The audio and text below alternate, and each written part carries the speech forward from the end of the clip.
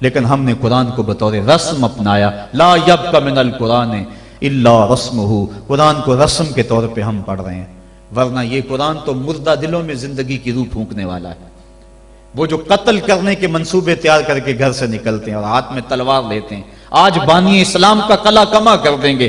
سورہ تاہا کی ابھی چند آیتیں ان کے کانوں میں پڑتی ہیں تو ان کے سارے پروگرام بدل کے رہ جاتے ہیں۔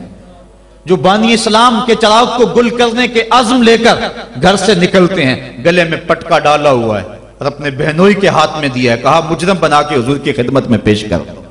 یہ قرآن کی تاثیر تھی، اور پھر قرآن ان کے اوپر ایسا اترا کہ پھر ان کی زبان سے قرآن کا جو نغمہ پھوٹا لوگوں کی تقریر پلٹتا چلا گیا۔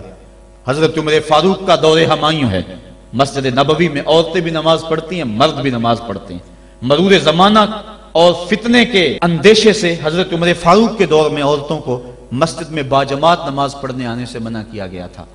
ورنہ پہلے مردوں کی صفیں، پھر بچوں کی، پھر خنسا اور پھر اس کے بعد عورتوں کی صفیں ہوا کرتی تھی حضرت عمر فاروق کے دور میں جو ہے وہ کچھ دور گزرنے کے بعد اس کی ممانعت ہوئی۔ آپ کا دور ہمایوں میں مسجد میں عورتیں بھی نمازیں پڑھنے آتی ہیں اور مرد بھی۔ ایک عورت اللہ نے اس کو شکل و صورت سے نواز رکھا ہے۔ وہ نماز پڑھنے آتی ہے۔ ایک نوجوان دستہ روک کے کھڑا ہو جاتا ہے۔ دو چار پانچ مرتبہ اس نے اس کی مزاحمت کے انداز کو دیکھا۔ ایک دن رک کر پوچھا، تجھے کیا مسئلہ ہے؟ اس نے اپنے قلب کی خواہش کا اظہار کیا کہ میں تیرا متوالا ہوں، چاہنے والا ہوں۔ تیری ایک ایک ادا پہ سو سو جان سے قربان ہونے کے لیے تیار کھڑا ہوں۔ اس نے کہا، میری ایک شرط پوری کر دے، میں تیری ہر خواہش، تیری ہر بات مانوں گی۔ اس نے کہا، جلدی کہو، میں تمہارے لیے آسمان سے تارے بھی توڑ لاؤں گا۔ اس نے کہا، میری کوئی لمبی خواہش نہیں ہے، ایک ہی میری آرزو ہے، چالیس دن تک عمر فاروق رضی اللہ تعالیٰ عنہ کے پیچھے نمازیں پڑھ لو۔ اس کے بعد جو کہو گے میں ماننے کے لیے تیار ہوں۔ تو اس نے کہا، یہ کون سی مشکل شرط رکھ دی؟ یہ تو بڑا آسان ہے، اگر اس سے تو مل جاتی ہے تو میرے لیے چالی دنوں کی نمازیں کہہ رہی ہے، میں تو چالیس سال بھی گزارنے کو تیار تھا۔ خیر، چالیس دن مسلسل نمازیں چلتی رہیں۔ جب چالیسویں دن کی آخری نماز پڑھ کے وہ نوجوان واپس جا رہا ہے، اسی جگہ پہ عورت حسب وعدہ کھڑی ہے۔ یہ نظر جھکا کے گزرنے لگا۔ اس نے کہا، میں وعدے کے مطابق کھڑی ہوں۔ کہا، اب تیری ضرورت نہیں رہی، عمر نے دل کا تعلق رب سے جوڑ دیا۔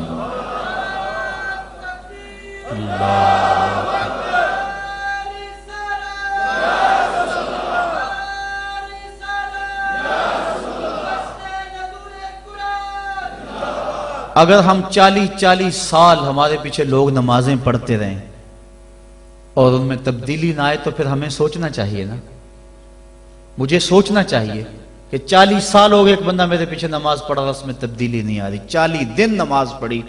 قرآن دل سے نکلا اور زبان کے ذریعے سے دل میں پیوست ہو گیا۔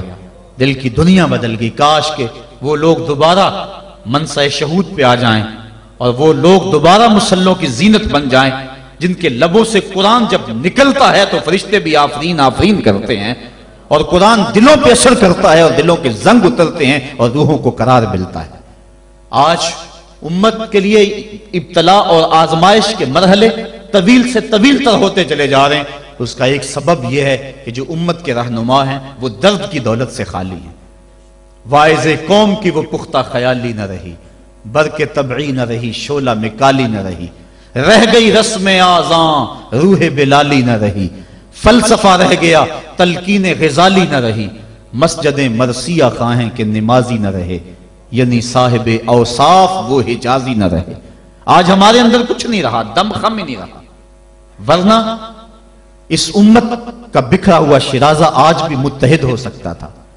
آج پوری امت جس طرح دھکے کھا رہی ہے، کس کے سامنے نہیں ہے حالات؟ کبھی ہمارا کردار لوگوں کو زندگی کی راہیں دکھایا کرتا تھا۔ آج ہمیں دیکھ کے لوگ دین سے بدچند ہوتے چلے